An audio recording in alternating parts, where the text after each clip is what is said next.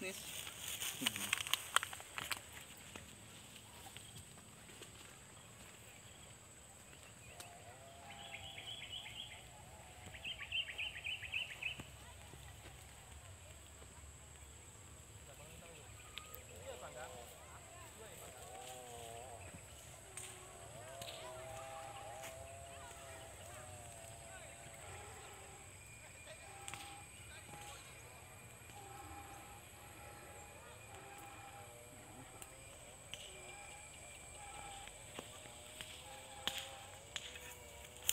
Assalamualaikum Pak Jamil. Waalaikumsalam warahmatullahi wabarakatuh Pak Irfan. Ini berapa pohon semua ini Pak? 53. 53 ya? jambu kristal. Kristal ya. Kalau jambu citranya cuma 10 batang. Tuh batangnya. Itu Masih masih kecil. masih uji coba ya. Masih uji coba. Yang apanya? Yang jambu Citra. citra ya. Ya, uji coba. Ini udah udah panen ya? Ini pindah ke sini belum belum lagi panen. Panen ya? Cuma yang buah-buah yang besar-besarnya ya di apa ya sama kita makan juga sebagian, ada sebagian juga dimakan oleh monyet. Hmm. Sudah pembungkusan? Pembungkusan kemarin Udah, cuma diganggu oleh binatang juga kan, ada monyet juga yang ganggu. Ini diapain ini Pak? ini kita buat kan kita udah letak pupuk kandang di dalam. Oh, kandang ya? Jadi ditutup dia. Oh, ini ya. Hmm. Ditutup. Habis itu pemupukan kita ba- baru sekali lah pupuk kandang. Menurut lah. menurut Pak Jamil ada nggak penambahan lagi nih? Ada. Ada ya? Rencana mau di- kita tambah lagi sekitar 50.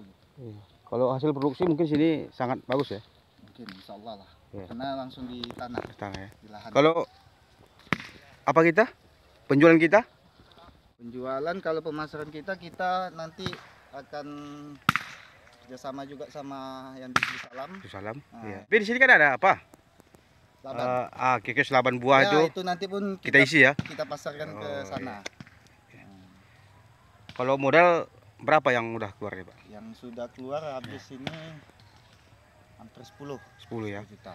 10 juta ya. Mm-mm. Tapi kalau lahan Lahan pinjam pakai ya? Hah? Pinjam pakai. pinjam pakai. Pinjam pakai ya. Nah, Iya. Nah, lahan Dipakai. kosong kita pakai. Iya.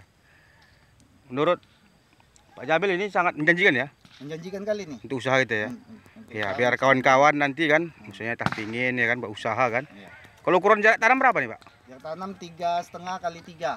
Tiga setengah kali tiga. Ini Itu udah sangat ideal ya, Ya. ideal ya. Sehingga nanti tajuk-tajuknya itu nggak ya, jumpa ya, tajuknya tajuknya ya. Nggak jumpa, jumpa ya. kita pun akses Iya. jalan pun mudah. Mudah ya. Kalau pas nanti perawatan, Ya, Pak pasca panen ya. ya. betul. Oh iya. Ini nggak dibuat Pak? Apa? Seperti apa ini? Eh, apa itu? Perbahan. Perubahan nanti kita buat. Rencana perbahan ya. Nah, Iya. ini kayak mana pun tetap di Rebahan ya? aja, Iya. supaya maksimal buahnya. Karena baik kita lihat dari hasil daripada biar lembut tinggi dari rebah yang rebah ya. Lebih Iya. lebih maksimal dia yang lebih Yang rebah ya? rebah Karena asupan matahari itu banyak ya, fotosintesis ya. masuk.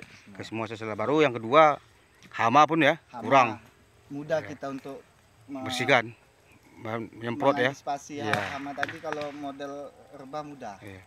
Ini sudah berapa bulan ini Pak? Di sini masih dua bulan Dua bulan ya, Nah. sejak tanam ya.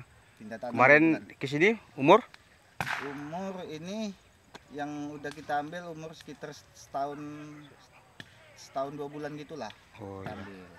Ada yang umur setahun. Iya. Alasannya apa tuh Pak? Maksudnya kenapa nggak ambil dari bibit kecil gitu kan? Ya, Dibandingkan perawatannya tadi. perawatan ya? Nah, oh ini kan iya, langsung iya. besar yang udah di polybag yang besar Iya. kita pindahkan ke sini. Terjamin Yang ya? Di sana gunakan polybag Iya.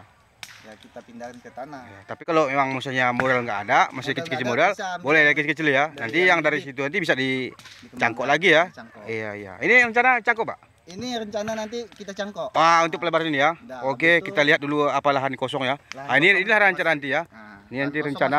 Oh iya iya. Ini nanti lahan rencana Rencana yang jambu- diisi untuk jambu hasil cangkok ya. Ah, hasil cangkok kita nanti buat sini. Semua ini. Ya. Di antara antara apa ini ya? Ya, Jambu air ini. Hmm.